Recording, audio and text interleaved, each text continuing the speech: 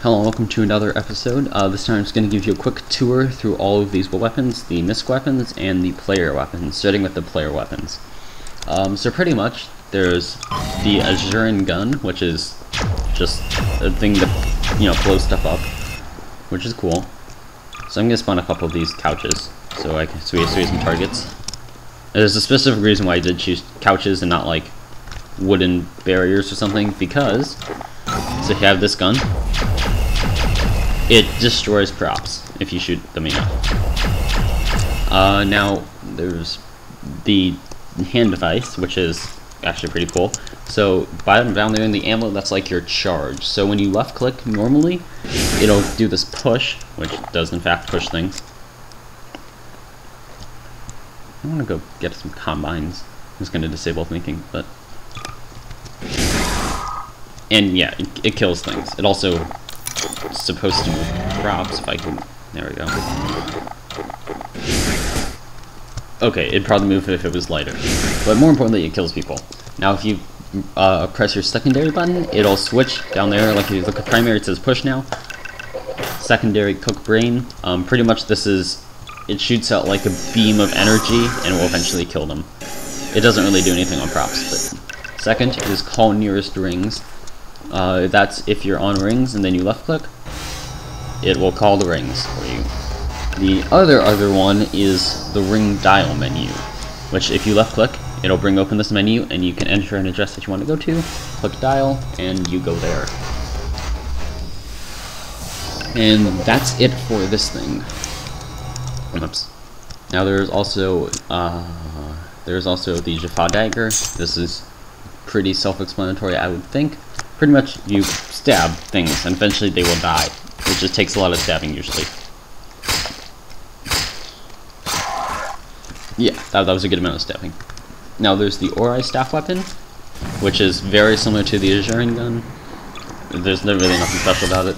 There is the, uh, this is called Ronon's gun. It is also similar to the Asuran gun. Now there's the SGFN P90. It's, it's just like a gun. You shoot things with it. Nothing special there. Staff weapon is also similar to those other weapons. I think I've run out of couches, but I don't think I really need to describe what it's like anymore. There's the Wraith Blaster, which is also pretty similar. It's supposed to be a stunner, but I don't think that actually works. No, it just kills things. Alright. Uh, then there is the Wraith Hands. This is actually kind of cool. So if you spawn some enemy, and then if you right click on them, you will like, if you look in the bottom left, you'll see that I'm just getting more health. Uh, that's because I'm draining their life from them, um, and eventually it'll kill them. And you can also just punch them, and that kills them pretty quickly for punches. Um, and finally, there's this thing, which is actually pretty cool. So if I spawn something here, and he starts shooting at me, if you click if you click on him once, it'll freeze him for a couple seconds. If you click on him again, it'll just kill him. But it's pretty much it's it's it's a stunner. And also, if I click on one of these people, it'll get all of them, which is nice.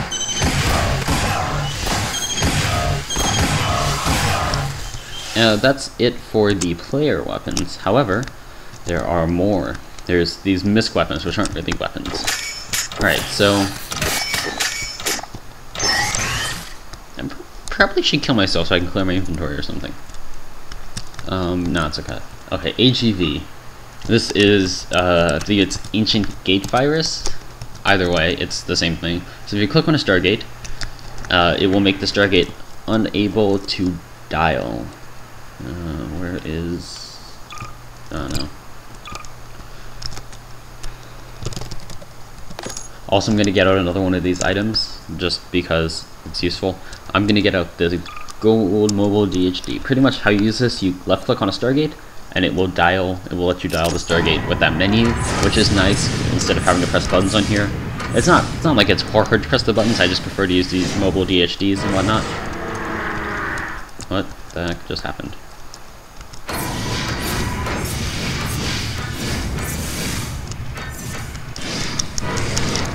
God, that doesn't make any sense.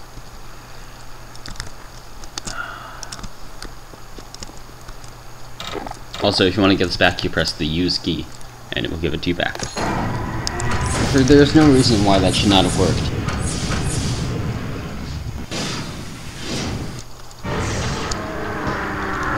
Okay, it doesn't have enough power, is my best guess. Even though I don't think that actually takes any power to dial.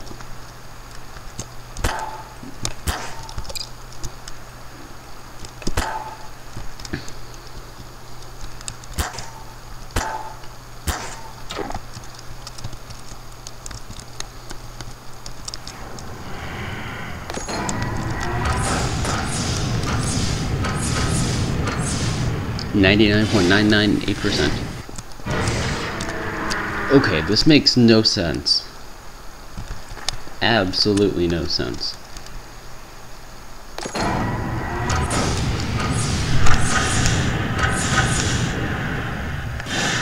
Wait, wow, I'm such an idiot. Yeah, it can't dial because I put the, the gate virus on it. God, wow, I'm so stupid yeah, that, that's the whole purpose of this virus, is that it doesn't work. And ideally, somebody would do something ridiculously stupid like that. Anyway, other weapons. The Atanik Armband, pretty much what it does, it makes you really strong. Like, it gives you a, it gives you 200 suit, and also makes you really fast. Like, you can go jumping across mountains like this. It's pretty cool. Uh, also, whoops, not a camera. I'm getting rid of everything. Alright, so now, let's just get like one of these people. You can just mow them down with punches. If you do it right.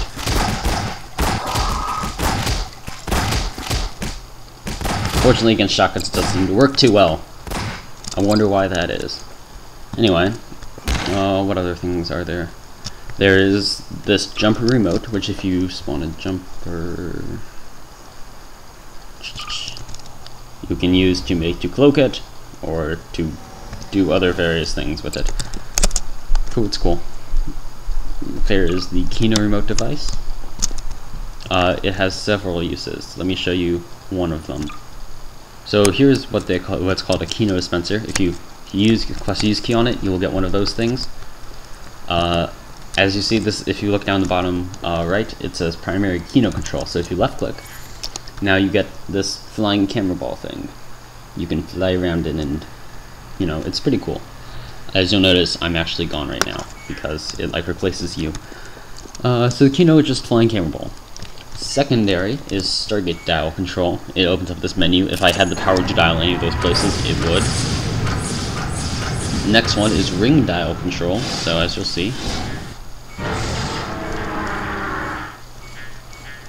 So I'll dial rings and then just back to Kinos um, what else? Uh, MISC weapons. Okay, life signs detector. This is pretty cool too. So if you just look look at it, it shows you a blue dot in the center. That is you. If I spawn, example him, now there's another life sign. If I spawn, you know, him, then there's other other life signs. So it's just just exactly what it says on the tin is a life signs detector. Malp remote. This is used to control a Malp. That's pretty simple. Malps are like these, and they move. They're they're just like reconnaissance vehicles, pretty much. Yeah, when you have the Malp remote out, you just control it by pressing W, S, and D, W, S, A, D. Alright, so that's it for that little section. Um, now there is the Nox hands.